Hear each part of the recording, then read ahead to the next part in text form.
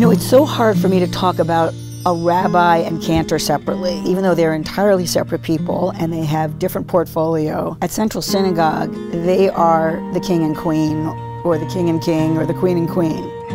The cantor is equally as vital and crucial. It's what makes people come, what makes people come back, what makes people connect. You know, I would defy most people at Central Synagogue to be able to walk out of here and recite a prayer by heart.